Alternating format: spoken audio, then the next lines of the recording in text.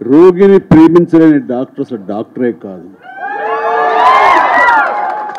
కానీ ఇక్కడున్న మా డాక్టర్లందరూ రోగిని ప్రేమించేవాళ్ళే మనసిచ్చేవాళ్ళే. కాబట్టి వారందరికీ మనస్ఫూర్తిగా నా హృదయపూర్వక ధన్యవాదాలు నమస్కారాలు తెలియజేస్తున్నాను. నేను ఎవరు మాట్లాడినా సరే హ్యూమన్ టచ్ గురించి మాట్లాడుతుంటే అరే నేను ఎప్పుడూ మాట్లాడాను కదా అనిపిస్తుంటుంది. అప్పట్లో నేను కూడా డాక్టర్ని. అదే ఫేక్ డాక్టర్ని అండ్ అదే విషయాన్ని మీ బిపిన్ గారు చెప్పినప్పుడు నాకు అది స్పృహలోకి వచ్చింది. నిజంగా చాలా సత్యం అది. ఆ హ్యూమన్ టచ్ ఉండే మ్యాజిక్ అంతా ఇంత కాదు.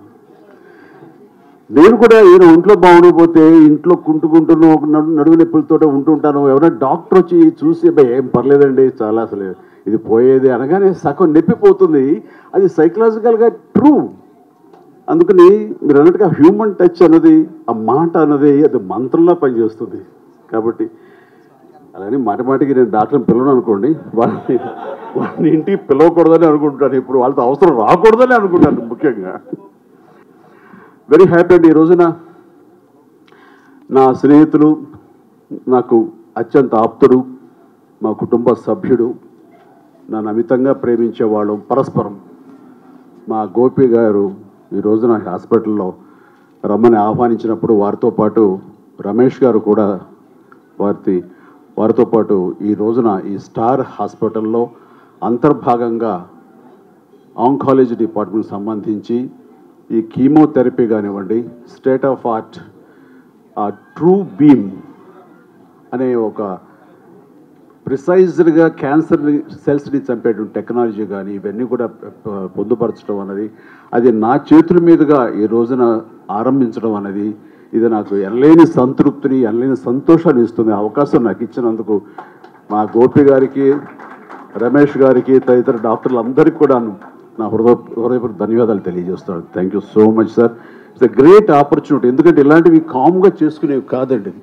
ఇవన్నీ పది మందికి మనం తెలియ చెప్పాలి ఇది ముఖ్యంగా రోగులు రోగం బారిన పడ్డారు వచ్చారు ట్రీట్మెంట్ పొందుతున్నారు అంటే కామ్గా జరిగే జరిగేది కాదు. రోగం వచ్చిన తర్వాత ఎవరేం చేయలేము. కానీ రాకుండా చేసుకునే అవకాశాలు ఎన్నో ఉండి కూడాను ఆ అవగాహన లేక ఆ రోగాల బారిన పడుతూ ఉంటే జస్ట్ దాన్ని నేర్పేవాళ్ళు చెప్పేవాళ్ళు ఆ అవేర్నెస్ని ప్రివేల్ చేసేవాళ్ళు ఒకళ్ళు బాధ్యత తీసుకుంటే బాగుంటుంది అని నాకు ఎప్పుడు అనిపిస్తుంటుంది అది నా బ్లడ్ డొనేషన్ క్యాంప్ అప్పుడు ఒక ట్వంటీ ఫైవ్ ఇయర్స్ బ్యాక్ జరిగింది. నేను వెరీ సక్సెస్ఫుల్గా బ్లడ్ దొరకని పరిస్థితి లేకుండా చేయగలిగాను ఈ రోజున ఈ మన ఉభయ రాష్ట్రాల్లో.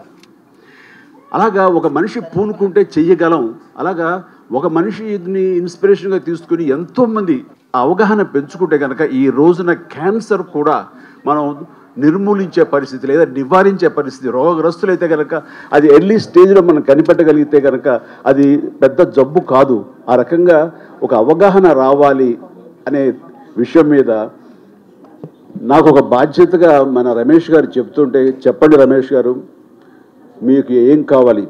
మన గోపి గారు.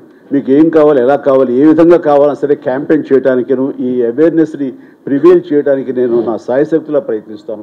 ఖచ్చితంగా ఎంతో కొంత పర్సంటేజ్ని మనం ఇంపాక్ట్ తీసుకొచ్చిన వాడు అవుతామని. ఎందుకంటే ఈ మధ్య సంవత్సరాల్లో నా అభిమానులు కొంతమంది ఈ క్యాన్సర్ బారిన పడినప్పుడు వాళ్ళని చూస్తే ఎంత ప్యాథటిక్గా ఉందంటే అంత ఇంత కాదు.